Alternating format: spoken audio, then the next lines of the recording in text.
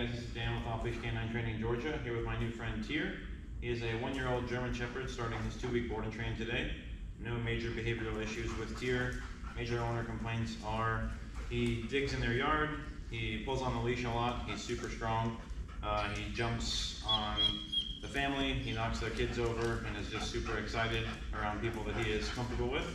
Uh, he's a little bit nervous in new situations or with noises and things like that. So we'll see what Tyr knows today. Tyr, come. Come. Tyr, come. You sit? Tyr. Sit.